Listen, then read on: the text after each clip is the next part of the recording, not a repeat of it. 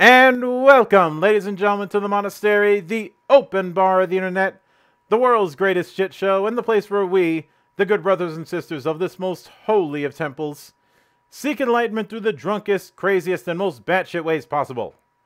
I am your one and only gaming monk, better known as Mildra, and with me I have two returning brothers to the temple. Creators, uh, creators of the upcoming Player's Guide for Dalreth, Heav- Heaven in the Ice, in the, and the and and possibly the rare case of a couple of a couple Wisconsinites I can actually stand. Look, I'm from Well, Minnesota. You know how the rules go. Well, Mildra, um, I'm not originally from Wisconsin. I'm from Illinois, so uh, that does. I just get to laugh at that one. Oh, oh, Bears. Oh, Bears. I'm just. That's even here. You're, you're worse. there now. You- You're Wisconsin enough. You've been there 20 years. Oh, come on! you- I'm you ice count. stuck. You The ice froze around me up here. You know. Yeah. Hi. Thanks for well. Thanks for having us. I'm Darrin. Yeah, the one, And the one, the one and only Darrin M. Anderson and Andrew Soldati, aka um, the Abbott and Costello of D and D. howdy, folks. Yeah. Thank you for having us. Yeah. Appreciate it. So last time I last time I had you on, that was let me let me um see if I can check the date. Let me see if I can check the date of that um initial video. Um, which is not letting me do unless I which, unless I open up the thing. So give me a se- give me a hot second. I never claimed to have the most prof- once again. I never claimed to have the most professional podcast. Um, Thought it was March, perhaps. uh, it was back in May. Okay. Yeah, so ba- back in May, we t- we had t- we we had talked a bit of broad strokes about Dalreth. So, what's aside from the um, launch of the Kickstarter for the Player's Guide, what's been going down in the meantime?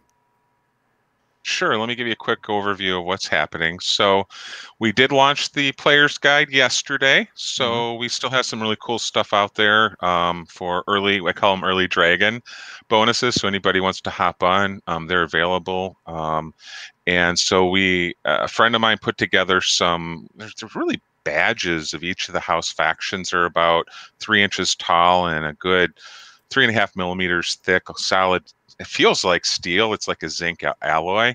Um, very nice stuff. Each of the different houses eventually will will be producing badges for all of those, so you can uh, kind of align with what faction you want, or you know have some kind of a fun convention gimmick or whatever you want to wear at a con. But uh, they're really nice in designs. We've done worked on those. We've got about 30 more miniatures that uh, all the STLs have been done for and are being in the mastering stages. Um, so this includes uh, like uh, uh, some of the different race races and species and cultures that we'll be releasing as part of the um, project. So uh, and then also the books, and we've been busy at work um, writing the books and really looking at doing some of the play testing for some of the new players material. The badge is pretty darn good size. It, you could, it doubles as a pretty darn good cloak brooch, also. Mhm. Just a nice piece of metal. Well, if Yeah. I ever, if I ever um, if I set if I set up some sort of some sort of cloak for an- for any future uh, costume stuff, I'll probably end up using that. I um, I've always I've always I've I've had people tell me that I need that I, sh- that I need to wear that I need to wear some sort of some sort of long black cloak, but I'm afraid if I do, I'm gonna end up scaring people. the, I la- think- I think the last always time I dressed in a, the last time I dressed in a suit, my old man said I looked like an undertaker. Perfect. Well, then you're going to need an exile badge. You don't want the Barton one. You're going to want the exile. Um, That's with the the one with the dra- uh, the the snake eye in the middle of it. It's like a green badge. yeah, Oh, yeah. So now last time now for now first off, I do there is a small part of me that will always find some amusement that a that a that a bunch of mid a bunch of Midwest gamers ended up making a um a campaign setting that is cent- that is centered around a frozen wasteland. Yep. who, who knows better than Frozen Wasteland and people in the Midwest, yeah, right? you, you know, October through March, the sun doesn't shine, and you got to do something. So Yeah. yeah, th- this this has been yeah we this has been in the making for you know well over a couple decades, um, and and yeah, it's it's just fabulous how it's all transpired. Uh, from although not as brutal as they used to be, but you know th- the 30 below wind chill uh, i guess could be inspirational Um, well, my my my approach is my belief has always been, um, it's not it's it's not the um, it's not the co- it's it's um not the cold it's the wind chill. Um, absolutely you know it's cold when your snot freezes so we're all well, we're I, I know I know it's cold. I know it's cold when I'm praying when I'm praying to the go- when I'm praying to the gods that the car starts. true Um, now when it now, just to just to kind of get things up to speed, um, what what can what can somebody expect from Dalreth as a um, campaign setting? Like, what are what are you guys emphasizing? What are you guys um, de-emphasizing, and what might people have to um, unlearn jumping in from vanilla D and D into a setting like Dalreth? Sure. Let me let me take that one, and I'll have Andy kind of add in a few things here. So I think what you need to look at is we we're building this from the player's guide up. Mm-hmm. So uh, right now, you could take the player's guide. You can use it in uh, any setting that you wanted to. You could supplement. Um, for example, if you're playing Icewind Dale, this could be used right there. You could eh, drop I, the Dalreth in a North Pole in any setting, the South Pole of any setting, and kind of have it be an additional um, add-on when we get to the when we get it all produced. So uh, it's really being designed to be seamless. But as for being different than vanilla D and D, one of the things that I do, and one of the characteristics I do when I write things and when I run events, is it's not a railroad storyline. You can't just sit there and follow the storyline and not really have to figure it out.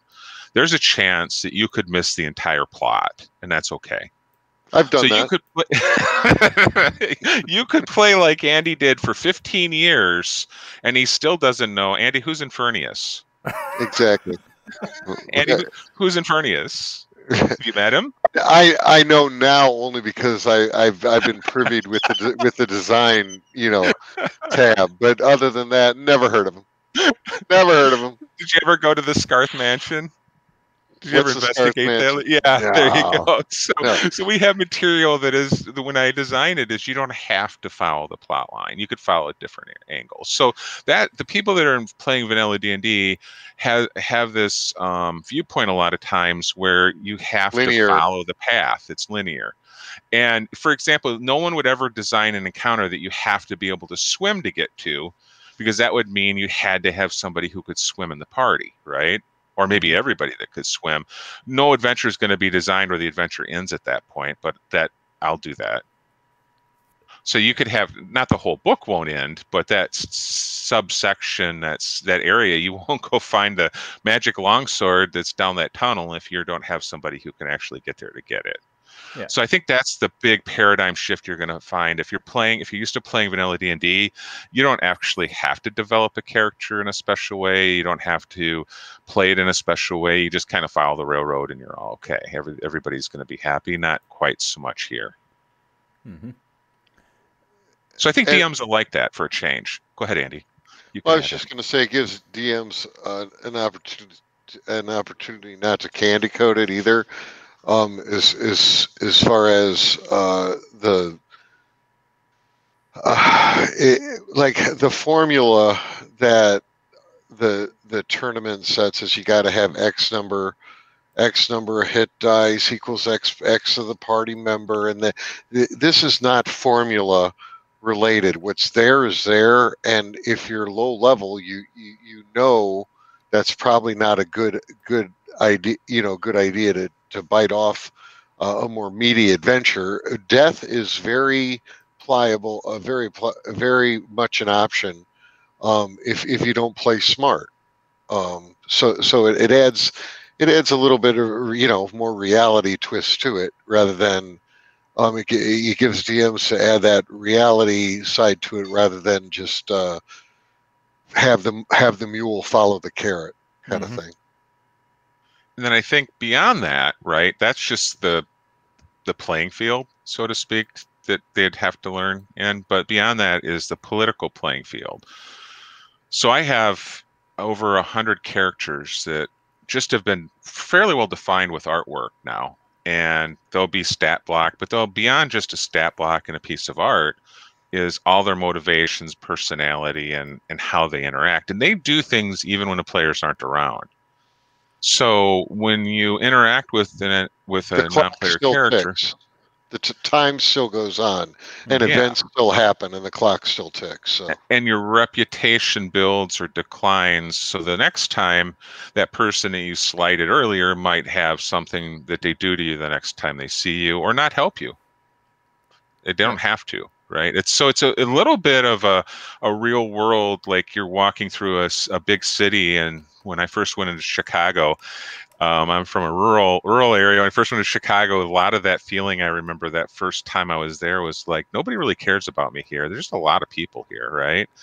And uh, the, the that's kind of what the the view of the city is here is that you're just kind of that person who just walked into a big city for the first time and never seen one before. So Mhm. that's I think that's different. A lot of the material that most companies put out will have four or five characters defined in an entire city of 50,000 people. That's not so much here. We have quite a bit of detail built in. So those are the big things is there's a lot of detail within a city. There's a lot of um, different playing field to make it feel a little bit more real. And the adventure's really a sandbox type of adventure, but with plots that do happen. So it's not purely do as you want. There are plots that could occur if you don't react to them. Well, well, no, it's it's do it's do as you want. Yeah, and and the plot's still going to happen. It's how you choose to interact with with the occurrences that are going to happen, regardless. Yeah. Now, when it co- now when it comes to the, when it comes to the um, book, when it comes to the player's guide itself, now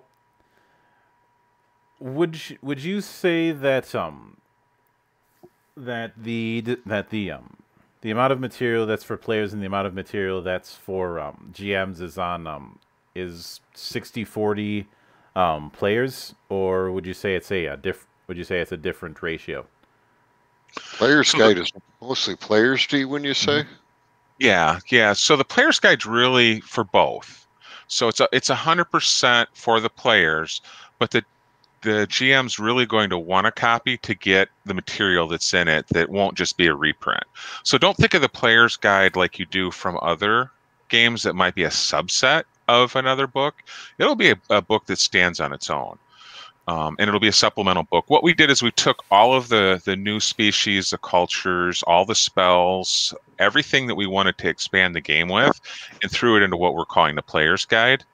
And so it's really think of it as book one um, for it because then that's the building block for the next book, which will be the creatures, and then the creatures plus this will be where all the adventure material will be derived from, and all the NPCs will be built off off the players' templates. So that's kind of what it is in, in terms of how the product's placed. The material in the player's guide, I think you'd be best to understand it's probably 70 to 80% crunch material and probably 20 to 30% more campaign fluff. So if you were buying this for your own campaign, you probably wouldn't care about the Arctic chapters about Arctic survival um, or harsh weather survival. You would probably not need those chapters, but that's less than 20, 20 to 30 percent is the campaign fluff. The other rest, the rest of it's really the crunch that you could use in any game. So there's a lot there that you could use for your own game if you didn't even want to set your game in in Yeah. a Dalreth setting. Now, speak speaking of the new species and cultures. Now we we did kind of delve into this a little bit, but I'd I'd be I'd like to um I'd like to go a little bit more whole hog into into some of these um, species and cultures within the um, setting. Okay, So now when it let me. Now Oh. I want to split this into two parts The first is how um is when it when it comes to already existing races within D and D. Um, how are they being reinterpreted in Dalreth's um, setting? I.e., what's get, what's going to be easy to adapt, what's going to be harder to adapt, and what's going to be dead. W- would you agree? Hu- human is to human. Mhm. right. You know, ice ice elves are the are a unique new breed of elf. Yeah. Um, a tundra, same thing with the tundra dwarfs. Uh, our our our hobbits are uh, you know again another unique. Uh, you, you, we've basically ta- taken at, at least one uh, of every race and, and made a u- unique sub race of it. hmm Well, Is it's not fair? truly a sub race in DN five E Well- terms. They're they're their own new race. New race, I guess, or- would be a more. I call them. appropriate. I, I use the word species, and sometimes I use them interchangeably. But, but you know whether you use species or race, I think of the different creatures as different species. But that's from my biology background. hmm Um, but yeah, so the, the halflings we have are gold halflings, like Andy mentioned. They're they're essentially like halflings, but they won't have the lucky feet, for example. So we get rid of the lucky feet, and they'll have they have other abilities that they do that that aren't lucky, you know, for that. The humans will have very similar. They'll feel the same, but there's two types of humans. There's the city humans, which are a mix of of cultures that have mixed together in a city because that's where the haven is and then there's a tribal element that's more of the indigenous people that called the Kuda tribe that are living in um, kind of a tundra valley, if that makes sense.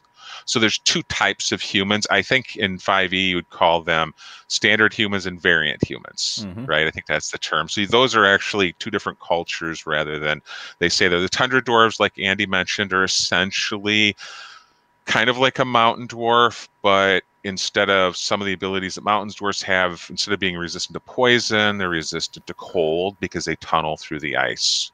The elves are up on catamarans on the tops of the glacier and they skim. And so instead of some of the, the abilities that normal elves would have, these elves have more wind magic. So they have some inherent wind magic as well. hmm So there's a lot. The common races that you know and love are slightly tweaked, and they're usable in any setting. So you could add your ice elves into your setting and have them from be up by some mountainous region that's away from where it's at, and drop these right into your game. They're not a reprint. We're not reprinting the, the standard races, if that if that if that makes sense. So it's all usable, right? There are there are a couple um there are a couple of examples of races that are standard that I'm curious if they'd be easier or trickier to adapt. Mhm. Um, the first one I want to ask about is um, tieflings. Oh, that's a good one. So, Infernius is the the demon of uh, of legend that crashed upon the land and brought about the cataclysm. And it's rumored, rumored, not been seen, that he has humanoid spawn that are derived from his blood. And so the tieflings aren't just a generic tiefling; they're what I call Infernius spawn but essentially it's the same template. It's different. Mhm.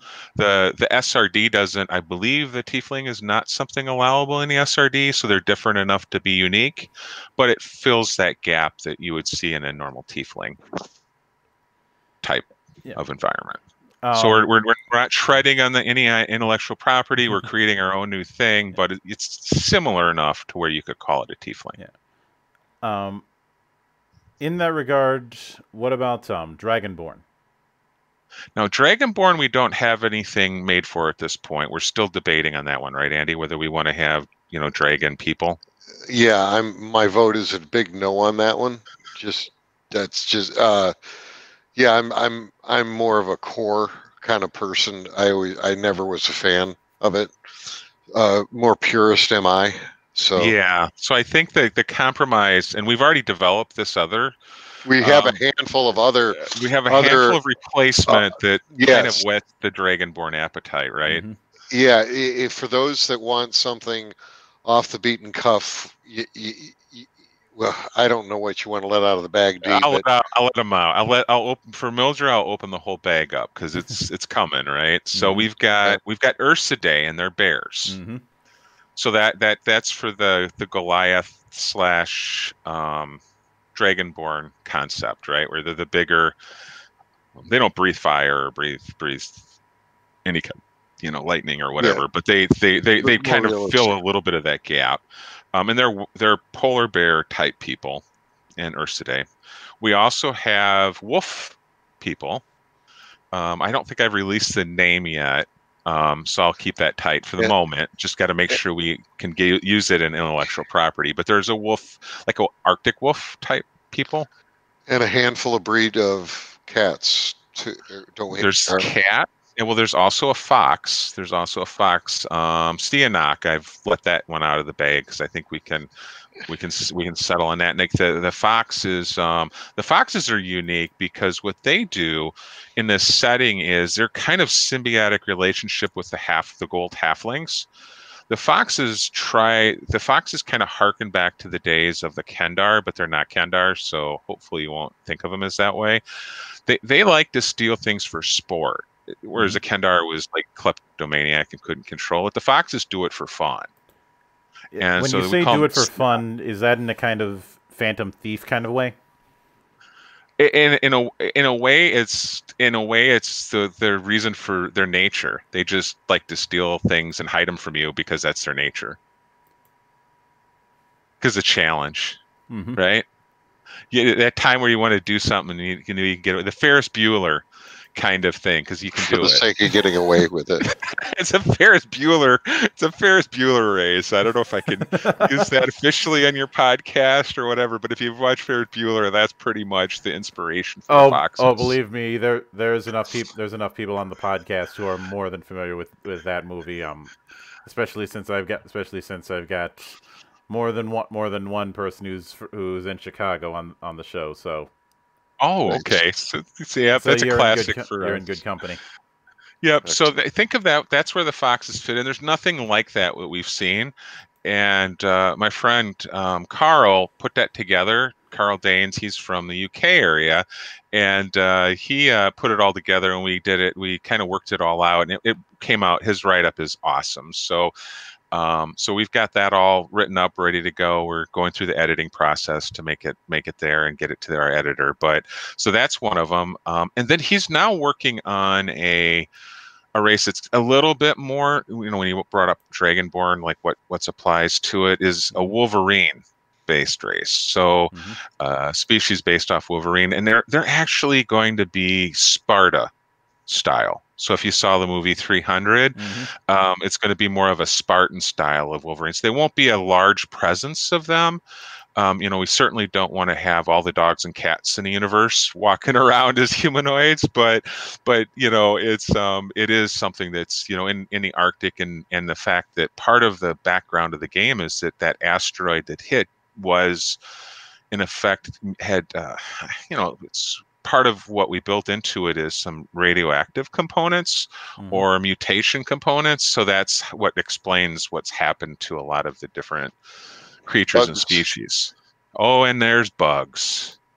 There's bugs. So we also have um, we also have Jonathan Jonathan Connor um, put together. Um, Connor put together a uh, a playable species of bugs. I was having him write up my enemies, which were bugs. Then he joked back saying, "If I write these, I'm gonna write up something that everybody's gonna want to play." So I said, "Oh, well, then I guess we better we better just come out of the that may be that may be the closest to Dragonborn would be the couple would be the bug race. bugs."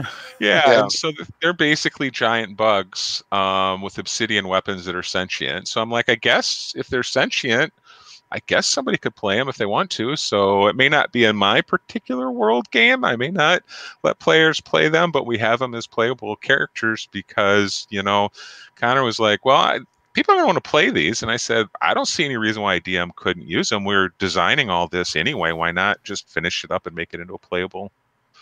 Well, Dark Dark Sun option. got away with a bu- got away with a bug race all those years ago, so why not? Well, in a way, we're kind of preempting that in a way, right? Because you know that's coming back, I'm sure. Um, so every the rage was going to be bugs in the next year or two when they bring that back, I'm sure. um, I will hold you to that. Okay, okay. Good on. Um, they won't come back the way it was, right? They won't have it, you know, because back then you could you could publish it, and there was a lot of things about Dark Sun that probably wouldn't be publishable today, right? Um, but I um, I I don't see I don't see that happening for se- for I don't I don't see it happening for several years. Um, but I'm getting ahead of myself now. You had you had mentioned the you had mentioned the branching the branching off when it came to um when it came to things like the elves and dwarves. I'd like to before we delve into the uh, classes part of things, I'd like to delve a bit into that and what's going to make them different from other elves and where they're going to be going against type.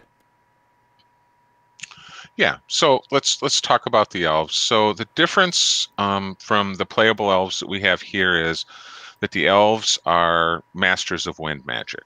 Mhm. Okay, so they need to have the wind. So if you imagine the survivors pre-cataclysmic time, the elves ruled the land. There were millions and millions of elves. Mhm.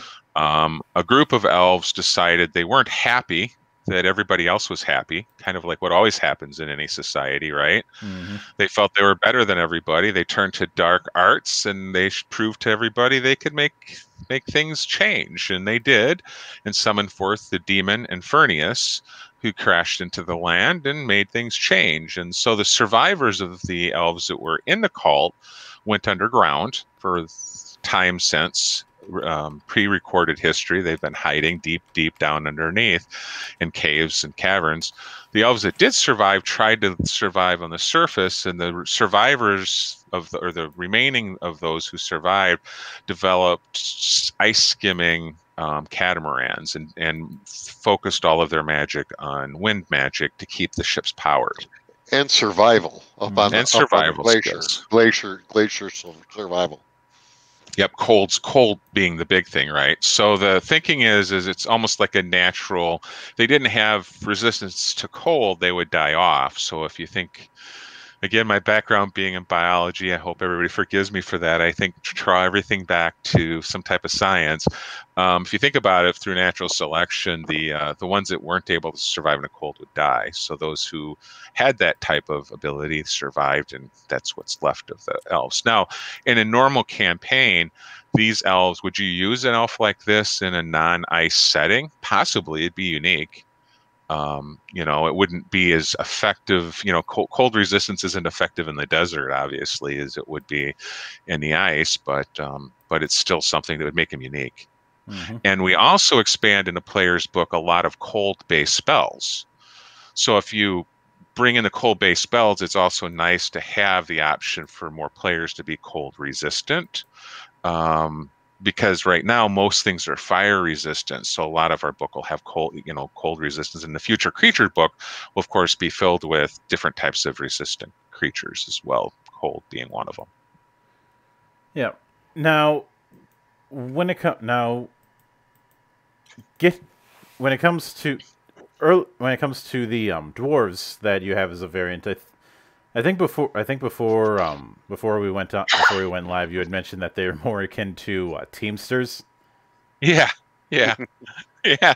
So the dwarves, the dwarves are organized into what what's called the Glacier Guild.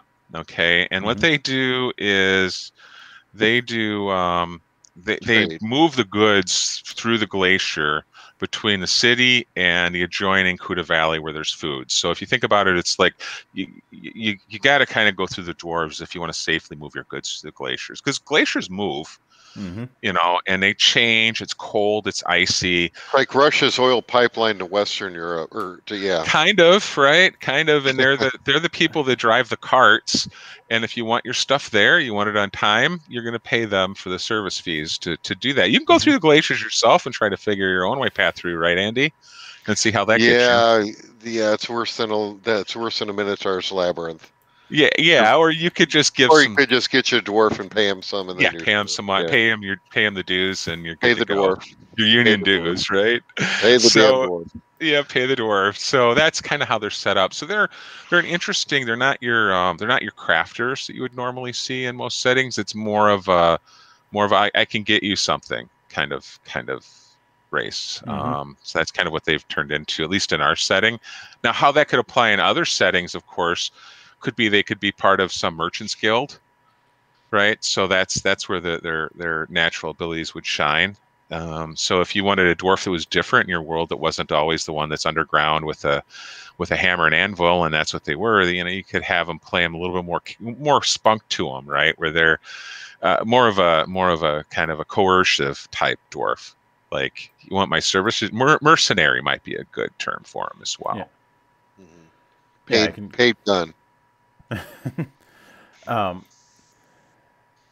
well, when you mentioned mercenary, the first thing that came to mind is the is that old line from um, Goodfellas, the whole "fuck you, pay me." Yeah. Uh, And- uh, I guess give- that's maybe the good fella dwarves then, right? Well, yeah, pretty well, much. If you remember, if you remember in the wizardry games, we had a we had a rat mafioso, so why not? Yeah, yeah. Um, now, And- and it- oh, go- go ahead. I was just going to say, in shifting gears, as far as the craft, you know, the Bartons, the Bartons are the, are the masters of of uh, of pounding out armor. mhm. So so where tradi- where dwarves would traditionally have that role, it's actually one of the house factions, Yeah. now, which goes back to our awesome, Mhm. awesome brooch. Yeah. Listen to Andy. Um, good plug there. I'm sorry, you were Go ahead. saying, sir? yeah. Um, now, when it comes to the when it comes to the um, subclasses, um, what I'm curious what I'm curious about is what what can you obviously we obviously we can't go whole hog detail onto all onto all twelve of them, otherwise we'd be here for six hours. But what can what can you tell me about what some about what some of them um, bring to the table and what they um me- and how they alter the sandbox of some of the existing classes? Sure. I'll take I'll start with that one and then Andy you can chime in. So the biggest class addition that you're going to find is something that we were previously calling a mentalist. Mhm. But um, I found out actually that's a term used for people of opposing um, English football um, factions when they don't like the uh, fans of another faction. They call them mentalists, is in a derogatory way, I guess. So. Mhm. So I said, okay, then come up with a better name. And so they pitched me Mindweaver, which sounds pretty cool. What do you think, Andy? I hadn't run that Yes. past All, you yet. every yeah, yeah, I, every bit of yes. Yes. So Carl, that's your that's uh, a shout out to Carl. You're right, buddy. That's uh, what do you think, Mildra? Mindweaver better than Mentalist? Yes. Okay, so you have a unanimous. So Carl, if you're listening, um, that was your idea last night at I don't know two in the morning. You you chalked that one out to me. So um, or the night before. I don't know. It all bleed together. So the the Mindweaver that we'll call him going forward is really um think of a, a it's a wizard type class, but it's not a wizard. It does Right. mind- It'll be your pure. It's it's like your pure spellcaster. yeah, uh, it's a pure uh, spellcaster, but mind spells. hmm And then we're also uh, in the, within that same realm. We'll dabble in, uh, you know, the the like as a ranger combines, you know, clerical magic and arms. You know, we'll we'll have. Um, I'm again not uh, I'm not sure on the name, but like a a, a nightblade type character or mystic. You know, combining arms and and, and uh, mind weaving, if you will. Uh, and um, then we were actually um, we we haven't fleshed it out totally, but also um, monks. Uh, they they we were having their ki, if you will, Mhm. and, and the magic that of monks come from more of a mentalist, a mental uh, a Mind weaver. source Mind yeah, weaver mind weaver Yep. source rather than rather than a channeling clerical or essence uh you know magic user uh so, source if you will. Yeah um like right now they can use their ki to cast a thunder wave and things like this. Uh it, it's going to be more uh yeah mind oriented uh uh magic that's body enhance that that'll enhance be physical enhancement uh, for them and that and that kind of thing. So a- again, a couple a couple of them combining arms and mind weaving, and then the pure mind weaving class Mhm. also. And this all derives from us having played Rolemaster this system originated in a Rolemaster environment. So they had all that built in. Mm-hmm. So it's really us taking the the origins of what I built into the world that's already there, and how do you make that work in 5e? Right. So it's mm-hmm. kind of a translation effort. So that's when you hear what we're working on. We've we, we know what we want as an end result and how it should function. It's just how to make the nuanced into 5e so that the spell level was, slots, everything's yeah, balanced, all that. yeah, Dalreth was originally when we started at first level we we started as Rolemaster characters, and then yeah, around fifth level went over to Pathfinder, and then yeah, it, and then so forth, and then then to five E and so forth. So yeah, yeah the game has tra- has has migrated, but it, but again, there's so many uh, great aspects with that original that original game set, and that's what we're trying to capture in in the production of this this book. So yeah.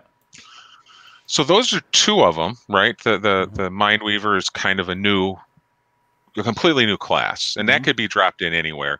The challenge, I, just want to talk about that if you don't mind for a couple minutes. The challenge yeah. of a Mindweaver class is how do you make a Mindweaver not completely blow your plot away? and that's in in in Rolemaster that's not a problem, but in 5e that could be a problem because you could just go and read everybody's mind and know what. Well, and and and and we've talked about this yeah. as far as resistant, uh, as far as more of a level playing field, as far as level to level resistances and the like. So resistances um, or or knowledge that it's and, happening and, to you, you know, and, that you're being right. mind read. Mm-hmm. And yeah. one thing we also discussed was at higher levels I'm sorry, you, you, know, uh, you get a 14th or 5th level mind weaver, and against a normal lower level person, you know, they lose. you, you know, it's just it's just reality. Right. You, you, know, and I think that could be said for any class when there's a level difference like that.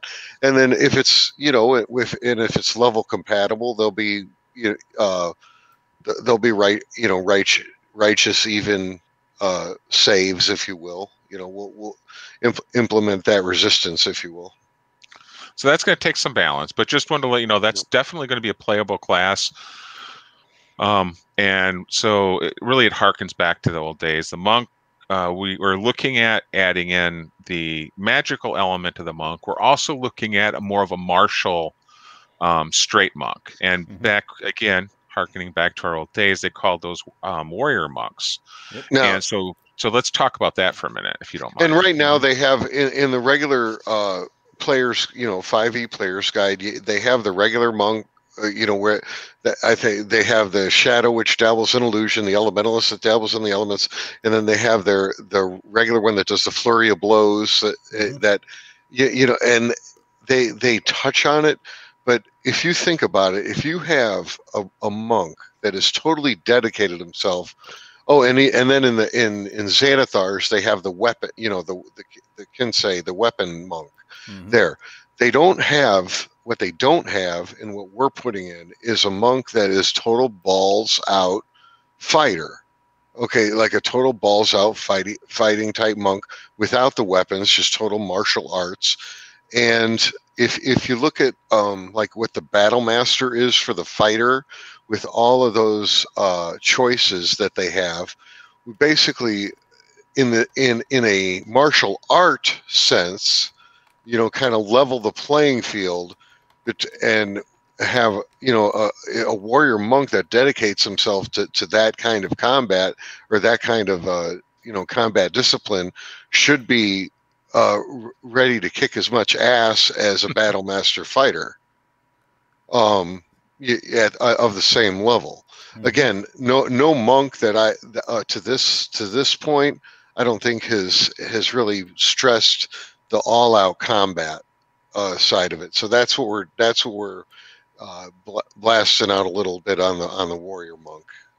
But I know you, that's new, near and dear to your heart, Muldris. So what are you thinking of? I know you mentioned you alluded last time to, you know, maybe a better monk class, or they're not functioning right. Are we hitting it close, or are we still? Yeah, it's st- yeah, it's because the thing that the thing that I want, the thing that I wanted, and why I was kicking around the idea of designing a a um a monk equivalent that I called pugilist, which I um I've op- I've opted to put on hold until pen- pending how that um, advanced 5e thing that EN World is developing turns out.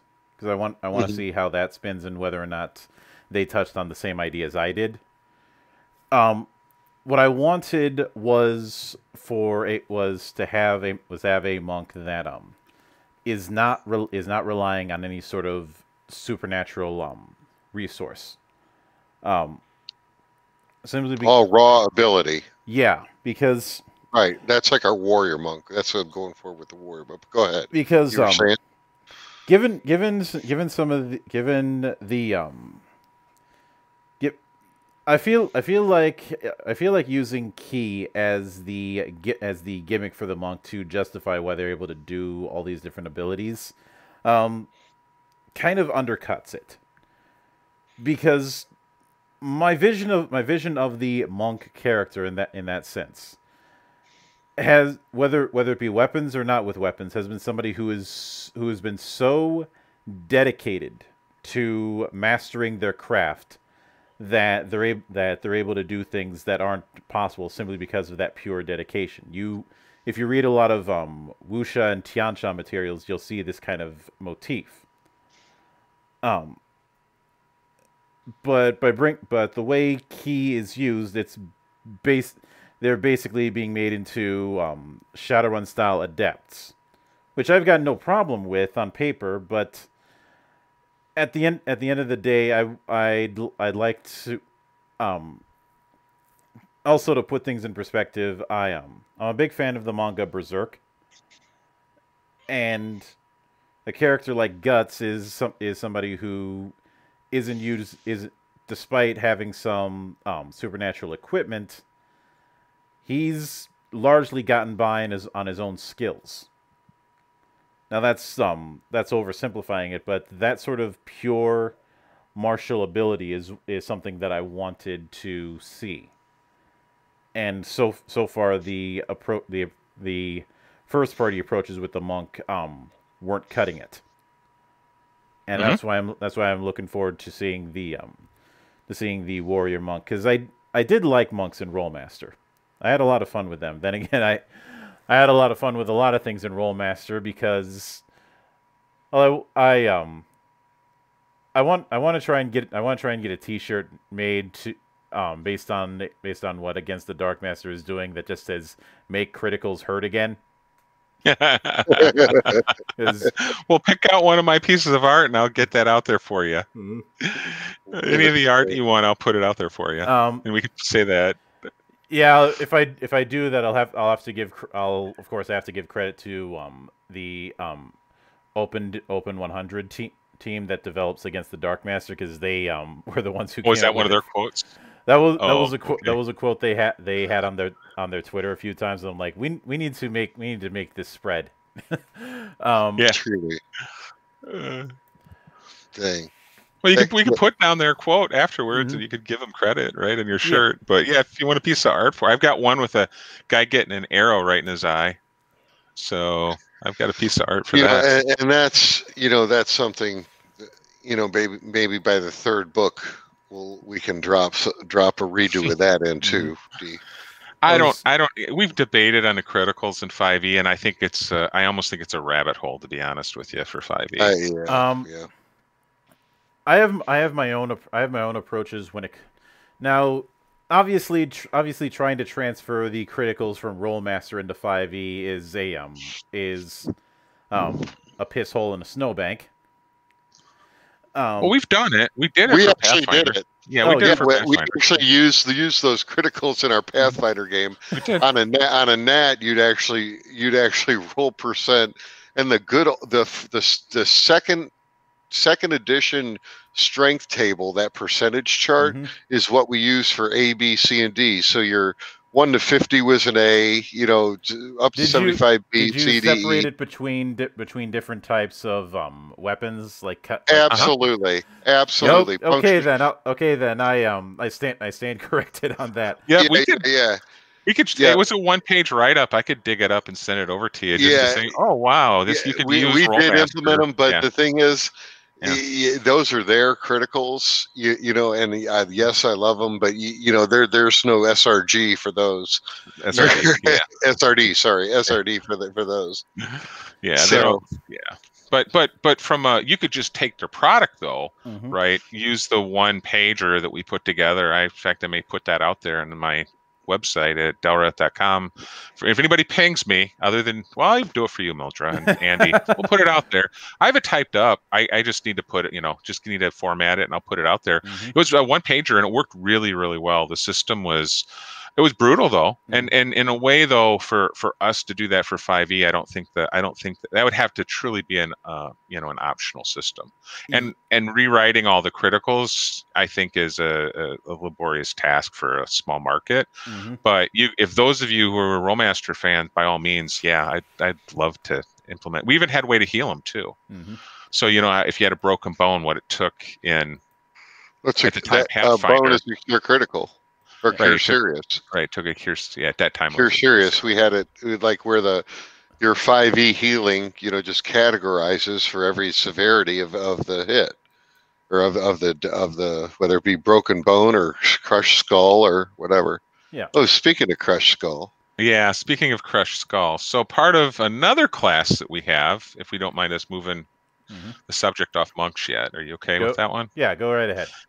Okay, so so warlocks, we've never none of us have ever been really happy with warlocks. So we decided to kind of if you remember the Harken days of of Rolemaster, there was a class or yeah, a class called a sorcerer that did Mhm. things like bad things to people. So we've Mhm. kind of thought, well, the warlock kind of fits like a sorcerer was. Um, not to be confused with the 5e sorcerer, which is weird um, in and of itself for its own reasons. But so what we've decided to do over in the warlock class within our our guide is to have them cast some new spells that are the old sorcerer spells that you would have gotten out of Rolemaster, but of course completely different visions to them and versions to them. But those kind of damaging spells. So for example, um, instead of doing the blade.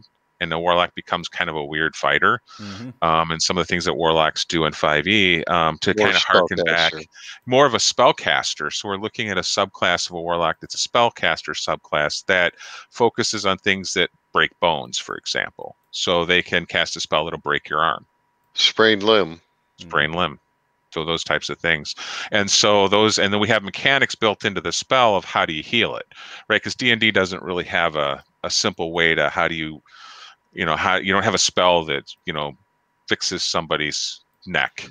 So Right. again, again, a cure light, you know, a cure wound spell will cure a sprain.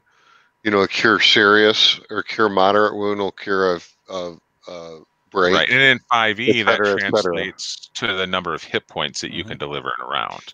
So if you can if you can cure a certain number of hit points, then you can cure that particular. Or uh, on the serious ones, if you cannot, on a serious break, if you cannot, on a broken leg, if you cannot, if you personally cannot cure 20 hit points with one spell in one round, you better be double and triple teaming it with your buddies if you Yeah. want that leg fixed. And if you still can't get it fixed, then you might have to wait a few months for it to Mhm. heal naturally. And that's built into what we're doing with the warlock. So it's kind of uh, if you think of the old sorcerer, it's not the same, but I, that's what it harkens back to from that is that it'll be um, those types of spells. So it's kind of interesting. You know, some of the things we've done to it is to take things we've seen other places, ways we've played it, and try to translate it and make it kind of fit um, in a new way. People who've never played those other systems and um, you know other games, you know, would see that. But I don't think we're going to touch criticals. I think that's um, that's just a lot of overhead in some ways. Yeah, I can de- I can definitely see see how that'd be the case. Um. Now when it now um pre previously we I do distinctly remember that um the last time I had you on we had ragged on um ra- we had ragged on rangers pretty hard. Yes, Um, yes. Are they getting a subclass treatment for this? Yes, they got. Uh, they can actually shoot a bow now. Yeah, better than other people. Better than other people. We, we, yeah. we we basically stepped them up to where they they yeah they're, it's basically a wicked archer subclass Mhm. to where they're doing where, where they're comparable uh you know, with a with a fighter of almost the same level, you know, uh, almost as comparable as a fighter fighter of the same level. Um, so yeah, it, it, we we yeah we made a wicked ranger archer, and um, and and yeah, I'll leave that there. Yeah, and we do want to we want to play test that a bit, um, just to make sure that it. I mean, we want it to be dominant and with a bow, but we don't want it to be a dominant character class, if that makes sense. To where that everybody's going to. Everybody wants to play ranger. Yeah, basically, I want oh. every the, up to this point. Eh, the winners in this game are a battle master and a thief with advantage. So basically, we're trying to even the playing field as far as far as the other classes go again, like your warrior monk, ranger, where they can step up and they can kick as much ass as that battle master. Um, now, now, granted, you still, being that he's a pure fighter, you still want to give them the the, the top, but but we just want to close the gap. Yeah, close the gap to where it's freaking decently playable instead of being the pussy of the group. Pardon my French. no, your fr- your French is perfectly vi- perfectly viable here. We okay. we do not we do not censor anyone's language here in the monastery. Thank you. So so the thing is with the um with the if you think about the the ranger that that's really where we feel Rangers need to go. We also another thing that was lacking in 5e that I think is at least within the all the games that I've played in it and, and games I've run, they don't have a really good grasp of conjuration magic in 5e like they used to. So, mm-hmm. for example, druids become some tank of a bear, and that's what you play up till fourth level, and then you play the druid that does, you know, an Allosaurus after that, and then you transform into something better that can fly after that. And uh, druids kind of become hit point tanks rather than what druids used to be. So it feels to me very weird. Like the druids of 5e don't feel like anything out of our past. And I don't know how you feel about that, Mildra, but they just don't feel like a druid to me. Um, an issue I've had with druids on, on and off for a while, and um, it's is a is a case of to, of um, too many cooks in the kitchen. Um, and I and dabbler is, of many, master of none. It's it's more of it's more of um, when I look at say a wizard, I under, I understand what I'm get, what I'm going to be dealing with when it comes to the fact that they're going to have a wide variety of potential spells. Um, when I look at a sorcerer, I generally have an idea of what I'm going to be dealing with. When I look at a um, fighter or look at a ranger or look at a rogue and so on, I have a general idea of what I'm dealing with. But with with a druid, you have you have the notion of of um of their own their own um, spell casting. You have the notion of them having of them having animal companions. You have the notion of them being able to shapeshift, and it's one it's one of the it's one of those things where where um somebody obviously with all these potentials somebody who knows what they're doing and can bring a druid up to a up to a tier 1 class which is what tier 1 classes are ones where they um, are so useful they're an entire party unto themselves um, that's why mm-hmm. Codzilla was a uh, was a thing a, a few years ago um and that's the that's the big problem that I ha- that I have with um, druids. I um, if if I found out tomorrow that the whole druid class had been um se- had been segregated into three um diff- into three different types, one focused on like nature spellcasting, one focused on um, animal companionship, and one focused on shapeshifting, I would be perfectly fine with that. It's ha- it's having all the it's having all those three angles at once when that's not how a lot of other classes are really designed is where my problem lies. Yeah and one of the things um, that i don't like is the shape shifting. Um, just don't like the i played a druid i played it a lot. It was great for me. Um, they've done it. Anybody can use a standard druid if you like it you love it. I have a wild mm-hmm. shape deck ready to go um, because i do like playing that type of a druid um, but after running druids, so it's kind of like as a D as a player, I love playing a druid that could do that stuff because, like you said, they're you can make them very potent. As a DM, it gets kind of the same thing, right? You know he's going to go into a bear on the next round, right? Or, you know what I mean? Like you know the that that's that there's eh, pull your bear and you know you're going to be a bear here, right? So.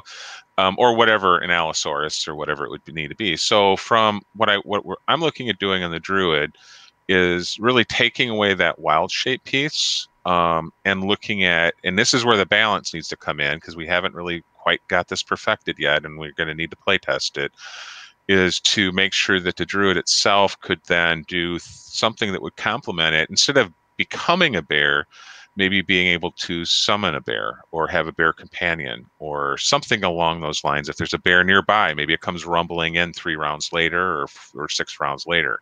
So that type of thing where the druids aren't the tank, but they can get the help. More of a more of a Grizzly Adams kind mm-hmm. of right yeah that's really a good that's a good good ex- explanation so it doesn't mean you can't play the other druid um, either in a game I run or you know you, you know saying condemning them. I'm just saying that to me, I think that needs kind of an overhaul in the Druid class. So for us, that's what we're looking at doing is some material is for those who also feel the same way. Is okay. The the wild shape is fun to do. Okay, been there, done that. What else can you do with the Druid? That's what we're looking at. There'll still be some spell casting elements to it, but its primary focus, at least in what what we've written so far, is to have the druid um, really be able to bring in the nature element of of you know the, the, the creatures around him. Yeah, if that makes sense. Yeah, it does. Um, and when when it comes now, um, when it comes to um, when it comes to feats, and given the fact that there's going to be at least 40 feats, um, obviously we can't go into all of them, but are there are there a few are there a few highlights when it comes to feat design that um really stick out with you, as in th- as in this was the eureka moment? yeah, we have a number we have a number of new things we want feats to do. So one of the things that we found, okay, and, and this is just me playing a lot of Adventurers League, and you really want to have a character that kind of is for whatever game you're running. So a DM that does a homebrew is going to have a different type of character, but if you're playing random pickup adventures with random people you don't know you have in the party, there's some feats that are must have right? So in Adventurers League play, you're going to have somebody sitting at the table, most likely, who has the lucky feat mm-hmm. right? That's that's kind of a must-have feat. Alertness um, is a very must-have feat, feat, especially if you're a rogue. You just got to have alertness, right? Um, so you can get that initiative. Especially if you're an assassin, it's a must-have feat. If you're an assassin, so what we're trying to do is kind of get away a little bit from that must-have stuff and all and offer a whole different batch of new feats that you as a DM could say, okay, I want to use these instead. You could use them in addition if you want to. Basically, we took took away the pimps. Mm-hmm. We yeah, tried to yeah get get rid of the ones that are just over over just too much. I mean, Lucky Lucky's ridiculous. Well, and, and we don't want to reprint. We can't reprint. It's not in the SRD, and there's no right. point of reprinting it for people. They don't want to see me reprint the same thing that's already been printed in a player's handbook, unless it's for a completionist's sake, you know, to work it all out. So what we did was we reworked the system so that there's different types of feats. So one of the ones, for example, I can give you one that that flows is um, is a death strike feat. So it's one that if you have this feat and you knock somebody to zero hit points, they automatically fail a death save. For example, that's mm-hmm. pretty much how it flows. So it's a death strike. So um, you're one up on on death on, on on saving throws. So that's very potent, um, particularly for NPCs. Maybe not so much for a player. Um, because usually when you knock something to zero, most DMs don't worry about that. But against you know something important, perhaps a troll, even that wouldn't matter because they could still regenerate. But that that's where the um, the the death strike would come in at. So that's one of the feats where we kind of like, okay, this is a way. One of the ways that the problem with 5e in a way is really almost impossible to die, unless you have a DM that amps up the, the challenge mm-hmm. because it, at zero hit points you just need to hit them with you know some type of a healing spell and they're back up again and fighting their next round. So um, with something like Death Strike, you're already a, a, in danger of rolling a one on your next death on your death save, and you died. So it won't happen very often, but it would allow a character to just outright die if that's if you run into somebody as Death Strike. Other types of feats that we're looking at are um, feats that would complement some of the new classes that don't take things away from it. So I, I you know, that without going to gr- a lot of great detail about all the different feats, I think that kind of gives you an idea of at least one of them. Yeah. Um, and I get the I get the feeling that when that when it comes to when it come when it comes to the feats that you have within it, would it be fair to say that that a good chunk of the feats are are um not one note that they lean more in, ter- in terms of multi-purpose? Yeah, and that's the other thing we we, we put when we put them together.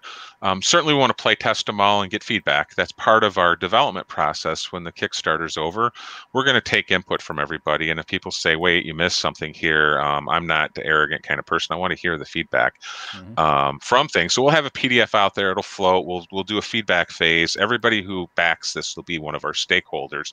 I can't please everybody, right? I'm never going to make everybody happy with everything, but if I can get rid of some of the glaring things, I will. So one of the things we tried to do is make the feats a multi-purpose. So they're not one-trick pony. Like Lucky's a one-trick pony, right? You just yeah. get to, you know, it's a. To, so we try to get away from that type of, you know, what I'm calling a one-trick pony to being able to do more things with them, as well. And most of the feats uh, that we put in there, a lot of them we did. You where you also add to an ability score because in many cases adding plus two to an ability score is better than most. I'm going to be honest, Andy. How many feats do you pick, or do you take a plus two to your intelligence with your, when you play a wizard? If I, the only time I take a feat is, yeah, I'll take the plus two if it if it gets me to a sixteen or an eighteen. You know, yeah. other than that, I don't I don't take the feat. So right, you won't take you'll you'll take the ability score. I'll take the ability score over the feat. It's just me. Yeah, and that's most most people I know play that way. They'll just take. They don't even use the feats, you mm-hmm. know. So we're trying to make them, you know, useful again, and still have a plus one, so that you, you know, you're getting something towards your primary scores out of it. Yeah. Um, and then it multi-purpose. So that's it. The problem is, of course, unless you throw out all of the feats and redesign it from scratch and say only use mine then you can't do much. You can't overpower them with what 5e currently has, if that makes it's sense. Supplemental. It's supplemental. Want to keep it. We wanted to keep it supplemental. We could redesign it from the ground up, but that wasn't the. That's not really the scope of what we're trying to do in this book. Yeah, we're trying to make it so you can add it to your current campaign and not redesign the rules. If mm-hmm. that makes sense. There are, there are, there are some, uh, there are some campaign settings that are and some expansions that are more in the realm of total conversion, but um, the way the way you describe it, Dalreth is not one of them. Yeah, I, I, think the one of the marketing pieces and one of the useful pieces we're trying to keep it so it's familiar. Mm-hmm. So the races are still, you know, all of our different races, species are same power level. Um, the feats are the same power level. The background options are the same power level.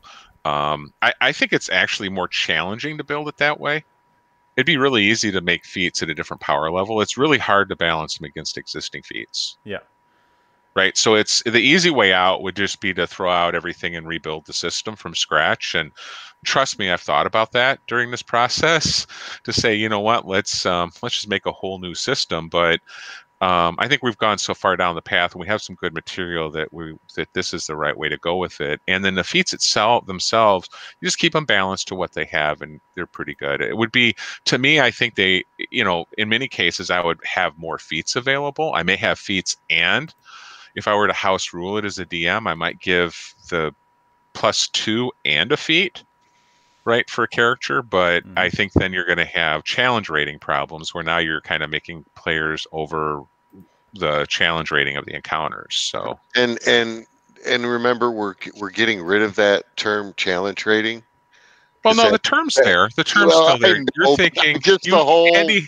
Andy hates it, but garbage. No. A plus B equals C crap. You know, but the challenge you, rating lets a DM know kind of how difficult a monster. Right. Is. Then bump it by two, and then and then you're right. then you have a game. Anyway. no, we're going to stick with it. That way you can use material in any setting. That's really Right, our final goal. I know you'd like to, but yeah, that's what we have to stick with. Right, right. Um, well, that's why God made house rules. Um, yeah, Exactly. Yeah. You can do whatever you want in your own house, right? Yeah. I don't right, care. right. It's No, yeah, it's just It's, yeah, the, it- the it's brutal. It's brutal in Andy's world and Andy's basement. I just want to throw that in there. It's you could you could run a Demogorgon at first level, right? mhm. Uh, you run away. So Yeah. okay. Now, when now um, on the Kickstarter page, and may, maybe this is going to get retitled later on, but you have the Mentalist as a new spellcasting class, and I'm gue- I'm Mindweaver, yep. guessing that's going to be re- rechristened as um, Mindweaver. Mindweaver as of as soon as I can update it. Yep. Yeah. Now, what I'm curious about when it comes to it being a new spell casting class is what does it bring to the spellcasting sandbox as opposed to the uh, warlock, as opposed to the wizard, and as opposed to um, the sorcerer? Okay, so this is this is my design baby. So um, um, this is what what we have. The big thing about the mind weaver, we're calling it now, is the all of the the magic is derived from your mind Mhm. rather than from the essence around you or from some spirit or god you know from channeling you know druid or clerical channeling so it's all internal magic so even if you're unconscious you can still think so the mentalist can cast even while unconscious so that's number Certain one that's spells, paradigm certain certain, spells. spells. are unconscious cast, castable spells they they just go off in an un, like like a, a a stabilization, if you will. Right. Their version of it. And the mentalist because it's kind of mind over body has some a dabbling of healing self-healing only so they can heal themselves while unconscious. So that's one of the things that's a kind of a paradigm shift that most people will have not seen before. Um, the the the mindweaver can also have spells. I mean you've seen some of the wizard spells that are you know deep thoughts or detect thoughts or, or along those. They'll have those as well um, they'll But they're gonna be- have But th- but of course, because of the nature of the class, uh, they're going to be more amped because the wizard is the end all be all. They can do they they can pretty much cast. Uh, they dabble in everything. Because these are specialized mentalist spells, of course, they're going to be a little more amped at the res- at the respective level. and it'll be different it'll be different higher more potent spells available as well Mhm. so the the, the you're kind of harkening back to your true esp your true mind control type magic as well. So there's there's different spheres within the mind weaver. You've got the you know the the, the body stabilization type type lists you know type spells. Then you have the mind thoughts type of spells and then you have the mind control types of spells where you can control other people they And also forgot have the most important one, the D. senses the senses You forgot, well. yeah, mind pain. no there's mind there pain as well There so will be instead pain. of having there will be pain that andy Yeah, loves the mind pain pain, time. spells pain but time. um but the mind the mind the mind pain stuff is uh singularly focused and of course won't do you much good against uh you know uh, an iron golem or uh you know an undead because they don't have minds but against sentient beings they can do things so they're not the fireball wielders you won't Mhm. be casting the fireball at 40 goblins but maybe that goblin chief you can go make him start screaming something if he you can Right, overcome like a little his- girl. Or yeah or is it- retreat retreat right that kind would of it thing would it be a case where um instead instead of throwing the fireball at forty goblins, the uh, Mindweaver would would rather make the goblins fight each fight each other and do the work for him? Yeah, that's that's ex- uh, me- mental manipulation. If you think of the mind weaver, absolutely, and and particularly the biggest, baddest one. The, whoever's got the most courage out of the bunch, you turn them. You, you, you that's the one you that's the one you kind of pick on. So Mhm. um, yeah, so that's the mind weaver. That's what it does. And so the other things, um, um, the other things you got to think about with the mind weaver is that the they get the pain piece, but then they also have the senses piece. So because we're kind of thinking of them in a way, almost like almost like fortune tellers in a way. So they can also do um, futuristic type thoughts. They can go and get a dream and find out what a course of action might take in the future. Those Seer. types of things, a seer type thought. So there's four or five different spheres. Well, there's five right now. I may condense them into four. There's five different spheres that they can go into, and then the mind weaver then could be really in a sense subclassed in a way and focused on any of those. It's a true full class. It's not just a subclass Yeah. overhaul. And so there'll be different focuses. So you may have a I don't want to have a mind weaver be able to do all of those things right? So we have to separate those out to have multiple subclasses that are kind of focused. So you have a seer type subclass, you have an astrologer, you know, seer astrologer type subclass. You might have one that that does the pain, that one that Andy likes, right? The one that brings pain on people, um, and that might be more like your traditional um, witch type subclass if that makes sense you know the, the kind of the cursing kind of uh, from the old harken back to dragon 32 or whatever it was Mhm. um, that kind of a, a kind of a, a subclass, and then also you know your your your mind control, your mind reading, which would be almost like a um, in a way like a psychic, I guess, or palm reader as well. yeah. Um, So we're looking at those. We got to come up with the right names for each of the subclasses still, and we're working through those. But yeah, that's that's really where the mind weaver's going, and it's going to be significant um, expansion material so that you have a fully playable subclass and subclasses with Yeah. it. Um, will the Mindweaver be using the um the whole spell charges thing, or will they have their own um method of resource? PowerPoints most likely. Well, we wanted PowerPoints where they just did that, but that that harkens too much towards psionics, and I don't think they've ever really gotten psionics to work well in Dungeons and Dragons. So it'll probably be at the same power, uh, familiar power spell level like you would see from a wizard. Just to keep it balanced, you follow the chart, the same chart that the Yeah, same kind of chart, classes, same kind of cleric, cleric, sorcerer, wizard count. As Yeah. far as that goes. Now, what what we will say is because it is uh, spells derived from the mind, Mm-hmm. uh, no verbal or semantic components. You know, they're they're component free, if you will. Right. So they don't have to. They don't have to. You know, flail their arms, right, or Mhm. um, Speak. you know, do um, do any of that. All right. That, Sorry, I think I faded out there on you. They don't have to flail their arms or have material components or anything. yeah, mostly because that that just that just wouldn't make sense when it's all when it's all in the head. I mean, may, maybe exactly. maybe if I maybe if I wanted to really stretch it, they uh, for certain spells they'd have to have a, a the uh, components they'd, they'd have to use would be like would would be would be um stuff stuff like taking like dropping Ayahuasca or something like that. Um, Right. Possibly a material component on a on a very you know like maybe some scrying or s- Mhm. you know on a scry or something like that, but you know very few and far between. Mm-hmm. Um, now, when it comes to some of the new schools of magic, what are what are some of the um? I'm get now. I'm guessing a lot of these new schools are reflective of the setting. What can you tell me about some of these uh, magic schools? Andy, I'll let you handle that one. Well, no, not as far as new schools. That that's UD as far as like the Mind Weaver schools No, no, are, he's talking are about the, only new no, schools per se. the Well, no, no, but that, that those are actually uh, s- spells within the same schools.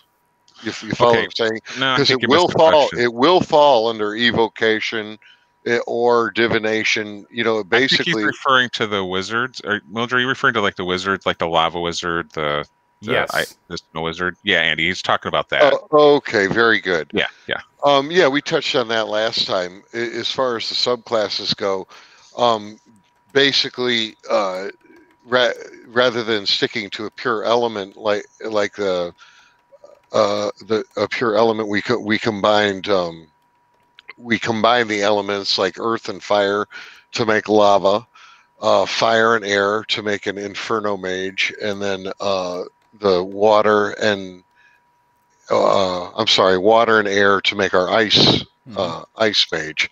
So the those are the three different um, subclasses of the elementalists, if you will, and then the spells within each each of those, of course, are mostly evocation, conjuration base. Mhm. Uh, but again, a, a lot of those different, uh, a lot of those, or uh, the three subclass types, obviously come from different part of the world. Um, and I'll, you know, I'll leave that to your imagination from there. Yeah. You know, obvious, obviously, our uh, our ice elves would have a good real estate block in in ice mages. You know, so so that that's a no brainer there. Mhm. Um, as far as uh, lava and inferno, we'll leave those ones open for uh, for uh, for your yeah, open to your imagination All right. because there, there's there's bad guys in in uh, is that uh from that are from the areas where that magic is super prevalent. All right. Now, when it comes to the faction system, um, I'm curious how that how that's going to work. We've last time I had you on, we did talk a bit about the um, houses of Dalreth, Mhm. and when it comes to the faction system, there's just have just the way it's described about fame and notoriety. Um, the main thing that come the main thing that comes to mind is some is some sort of influence as resource, but I'm guessing that your system is going to be a little more in depth than just another than just a um, political currency. Right. Right. It's not um yeah, other ones are just like, oh yeah, I'm a harper. They all like me and I can use I can they can they, they send me missions or whatever and I get a plus one ring or something, right? It's not that. Um really the system is think of it as a um how you'll interact with one character within a faction um, will affect your interactions again with others in the faction. It's gonna be a it's a player by player basis. It's not the whole group. So y- your group can taint you, right? If the barbarian in your group goes and pukes up on the table, you're still tainted a little bit, Mm-hmm. right? From being uncouth, right? For having you know puked all over the the noble's table or whatever. I'm just using that as an example, but you know he may lose a few favor points. You're still going to lose something for you know the party theory you know your party to him so therefore you must be like him um, kind of thing so But tell them the um, uh, tell them the positive though. Mm-hmm. the positive is of course now that you have those characters that are Wait, wait, no, let me interrupt, Darrin. oh go ahead But since it's the barbarian, you puked in that noble stable. The faction across the way actually despises that faction. right So you actually Right. got a couple brownie points with the faction that doesn't like the other fact, the the noble faction that you puked on. you're the guy that puked on the russell's table i heard So- about so- you right So, yeah so you're so they're buying you beers. Right you might get a beer off that if you go Mhm. puke on a russell's table and make it alive out of their house without you know losing your head off doing that It's highly doubtful that you make it out of the room but if you So- did then you're the guy who did that right So that that makes the whole political yeah because of the politics that are that are inlaid of this house doesn't like that house, this try house is trying to one up this house. Uh, because of all that, your interaction with that has positive and negative, pending, you know, pending which house does what. And then we have the rules for that in the player's guide. So you could use our factional system and drop that in your own in your own setting. So again, I'm trying to make the player's guide really modular in the sense that you can use it for anything. You don't have to wait to use it in Dalreth. You could use it, I don't know, for the your Icewind Dale campaign and Mhm. drop it in there and use that type of a factional, add a few characters that are on different areas and use it. Now, the thing is, again, it's not a um, it's not like a credit card or political capital in the sense that you get this because you did that. It's more of a they won't do things to you or they will do things for you if you have those types of levels. Now, some of that, if you implement it on your own, you'll have to go through and figure out what those boons are and what they do and how those NPCs affect them. Whereas when we get to that point within our setting, all of that's built in, right? So I built the entire setting from the ground up with this system built in place so that really the NPCs are people that aren't just somebody you go in and you meet for 10 minutes, they introduce you to and you go and adventure on them and you never really do anything with them again. They're an integral part on the storyline if mm-hmm. that makes sense. And so what you do to them builds up. They remember, right? It's like a living being that the DM gets to play and gives them that depth that they normally don't get. So you may be in been in front in front of the king before, and he gives you a quest, you get something for him, yay, you get paid for it. You're happy now. In this system with a factional system, he'll remember that. So the you know Duke Barton will remember you've done something for him. I And do so if you recommend with favor- all the house actions as a DM, you keep good notes. Oh yeah, yeah. It does require bookkeeping, but I do. But I, a lot of that you can kind of keep in your mind too. But if you, you need to take notes on it, you need to, to record that, and that's one of the things um, you're going to want to log right when they do something that affects another house member. When you have Mhm. a hundred different NPCs and twelve different factions, and you're doing things, you need to kind of account for that. Just to log it doesn't have to be complicated. And in the adventures that I write, everything you do will impact and even things you come up with as a player, you're going to come up with things that a DM hadn't even thought of. The material isn't isn't done, and you ad hoc run it.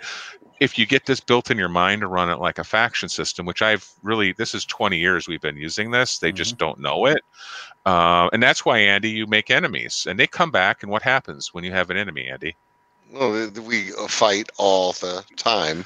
Yeah, you get they'll remember you So- when you stole that. I'm running. ring I'm running. I'm, I'm constant. It. Uh, if if you play a chaotic character, you're constantly on the run. hmm That's Right. You, you just and, and run. that's that's what it is. So if you're the kind of if you have the kind of players that like to burn everything down in a town, this will work really well to kind of mold well, them. no, to there's thinking, consequence. There's, there's consequence. consequences for your Mhm. actions. Yep. Yeah, so you you you that's a system. Even that alone is a gem because once you once you start thinking that way and running it that way, it's an entirely different kind of game that you're running. You're running. I, call it a political game, but maybe that's the wrong word. It's more like um you know it's it's it's more like an interactive Yeah.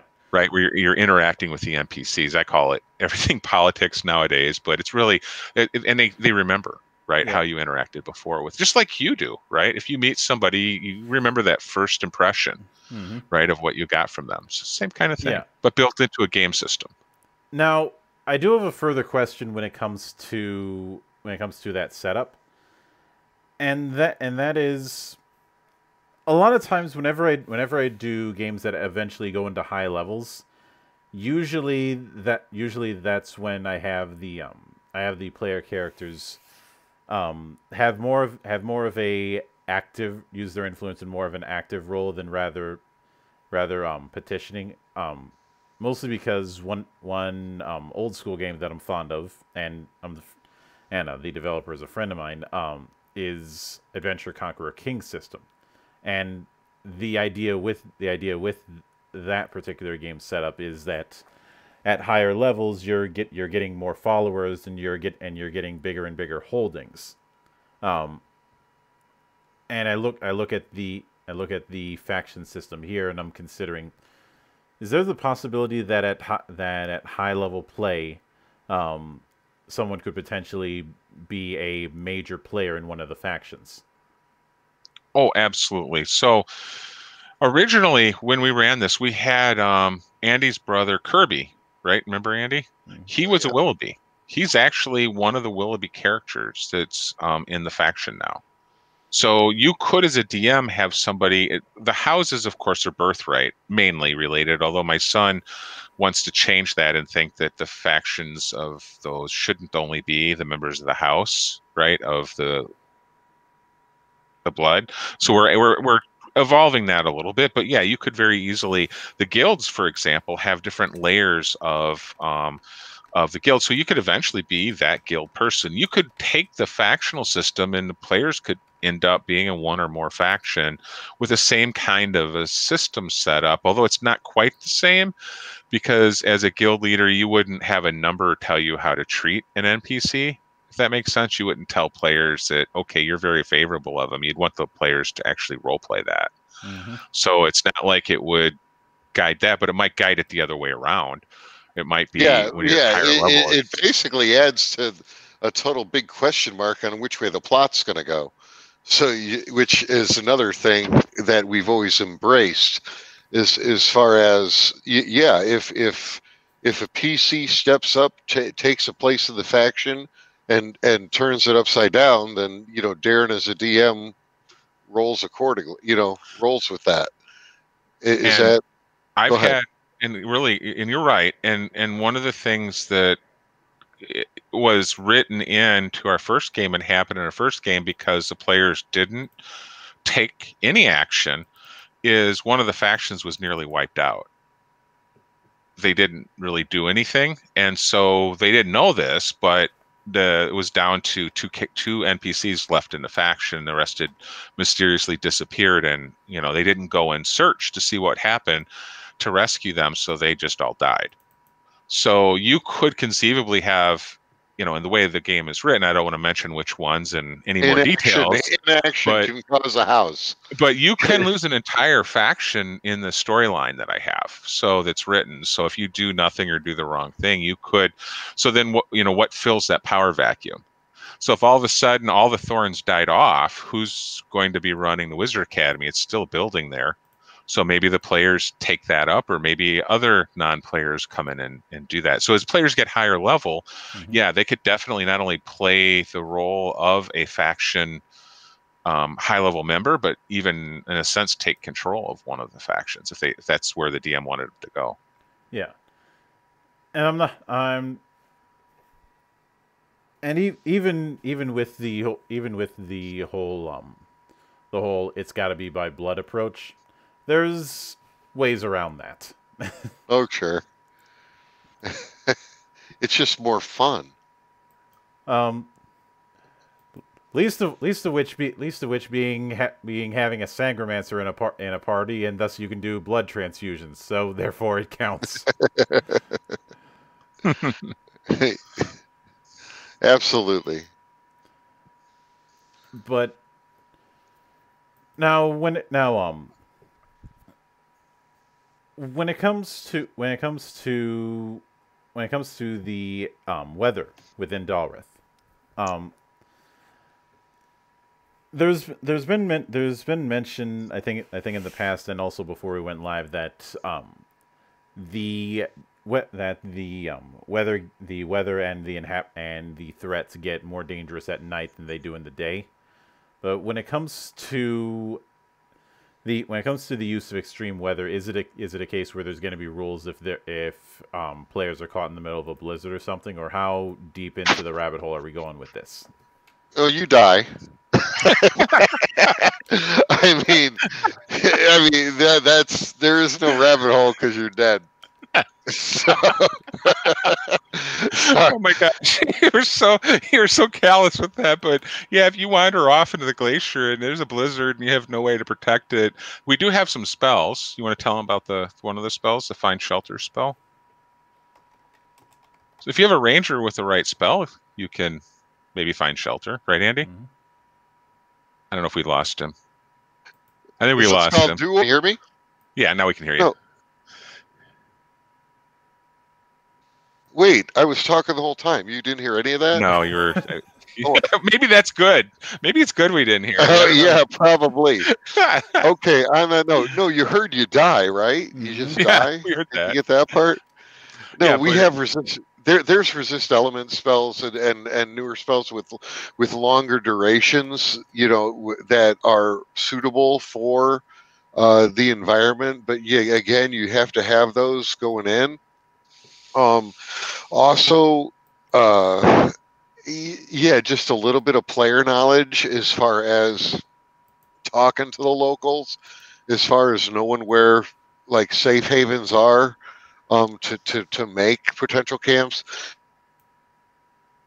I I have I'm the school of a DM that has no problem with having everybody roll new characters up in a, in a given moment.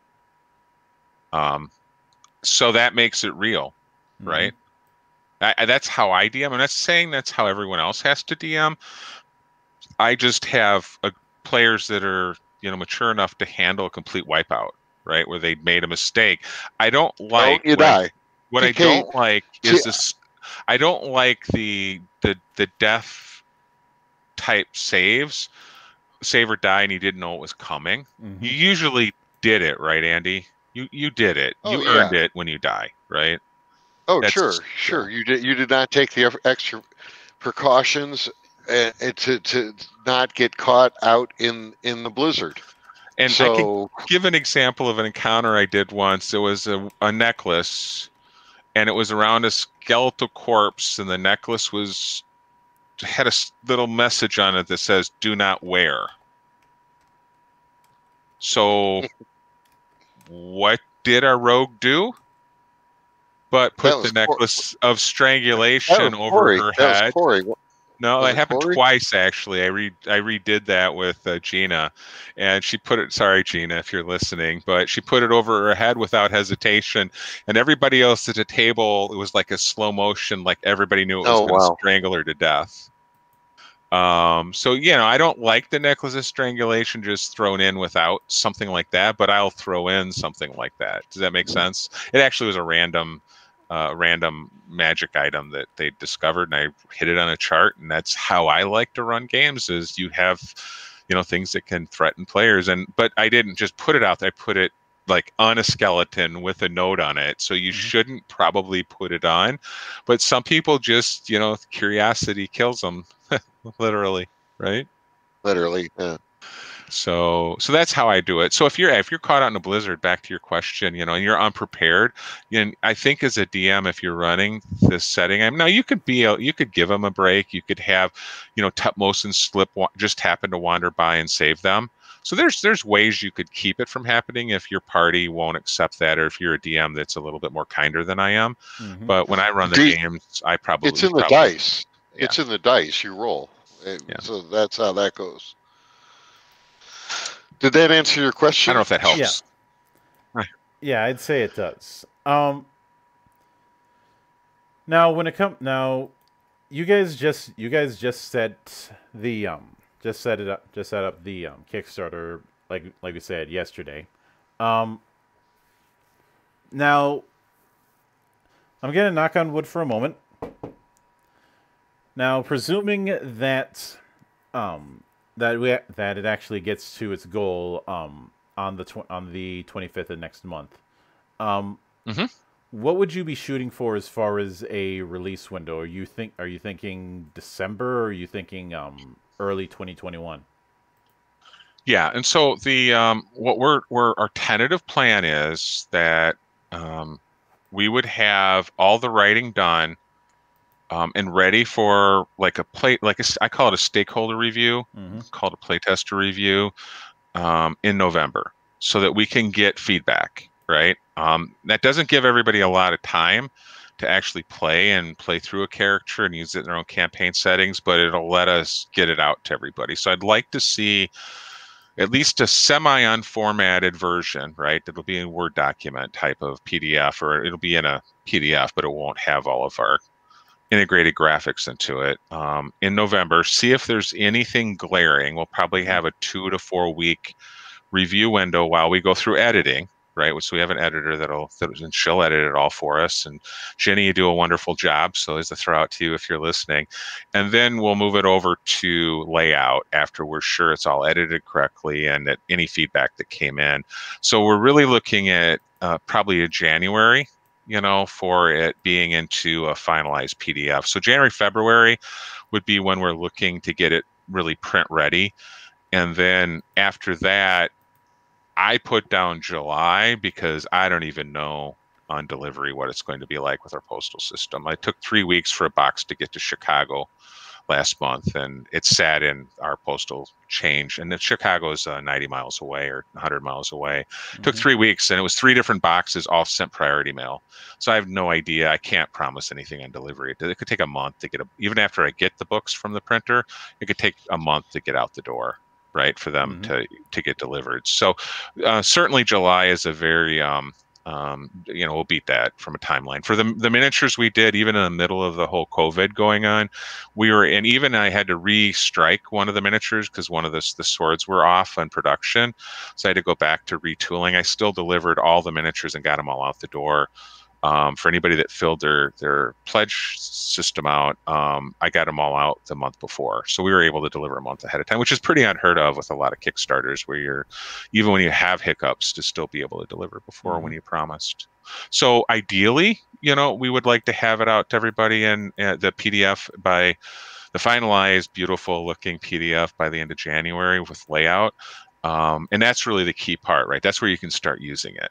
The hardcover, then, I mean, that's a question mark as to when the hardcover would get printed and everything with that. Um, it may take a month or a few months to actually get it out to everybody, but certainly by July All for the right. hardcover. And I'll def I'll definitely be looking forward to it. And um, I'm pretty I'm pretty sure there will be no shortage of ice puns at my table because there because well, one of one of my guy one of my guys likes likes breaking into Arnie impressions. Well, and we may have some of this out as PDFs earlier. So um, I may move forward with, for example, Carl Danes has been doing a knockout job with some of the, the writing. So Mhm. his stuff may show up pretty soon, and we may do those as, uh, you know, early release once we get this funded and start uh, get it laid out, and we may get that out for early review. So you might start seeing material, you know, the moment the Kickstarter closes, we'll start floating it out there for feedback. So you, you know, you might take some of this and be able to use it in your game right now. Um, And if and if on Knockwood or if Knockwood, if it doesn't fund, we'll we'll we'll come up with another way to still get the material out to everybody. Yeah. Um, it just, just- probably wouldn't be in a printed format then. yeah, I just Right. I just don't want to tempt the gods of irony.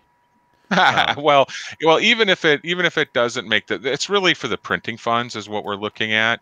If it doesn't make the printing funds, a PDF option is available too. We put a lot of heart and soul into this. Mhm. And so even if we don't succeed, this is our first major Kickstarter. So I'm learning a lot of lessons from it. And I think the next go around will be, you know, something that'll be even better.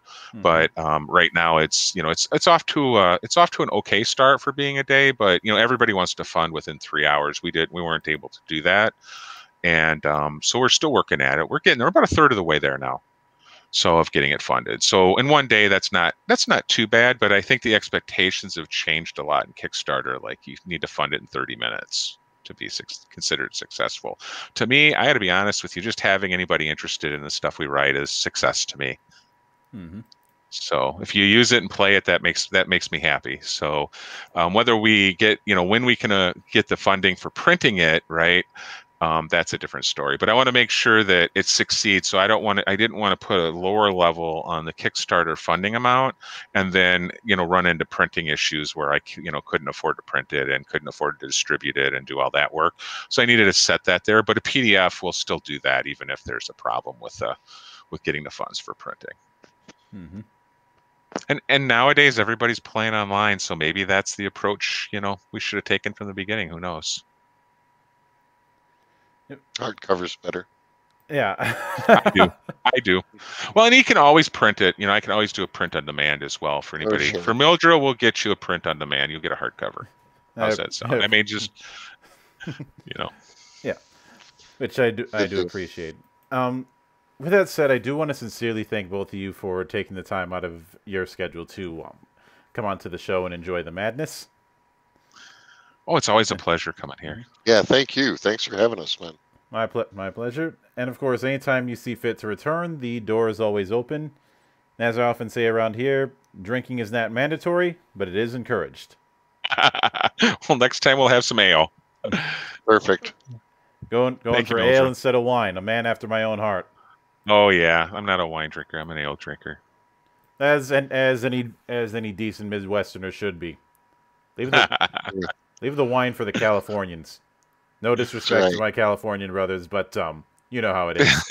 That's right. Well, I'm I'm a I'm a mug of ale and a leg of leg of mutton. That's uh, that's who I am. Yeah. So Um, and of course, and of course, a sincere thanks to everybody who took the time out of their schedule to enjoy the show. And there'll be plenty more craziness where that comes from, as there always is here on the open bar of the internet. But until then, on behalf of the good brothers present and not present, my name is Mildra. I am your gaming monk. Stay fucking frosty, everybody.